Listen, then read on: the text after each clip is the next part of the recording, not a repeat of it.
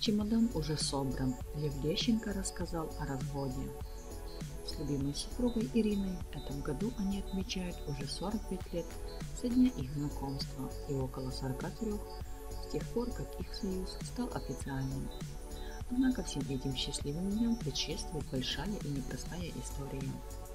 Дело в том, что на момент их знакомства Лев Лещенко был несвободным человеком. В 1966 году он женился на своей коллеге, шикарной Алле Абдаловой.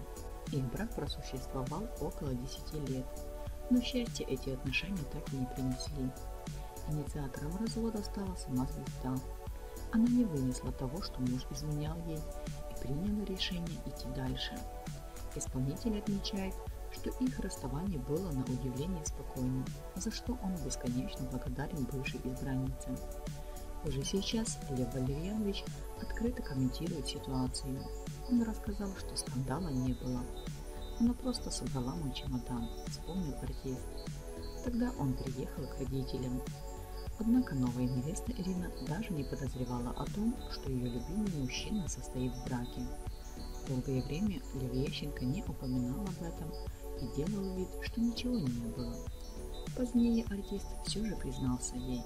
Пара встречалась несколько лет до того, как начала жить вместе.